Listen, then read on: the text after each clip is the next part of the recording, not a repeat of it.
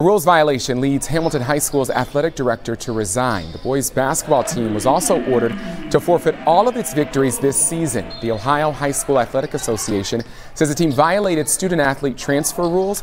Hamilton was 8 and 4 this season heading into heading into tonight's game against Lakota West.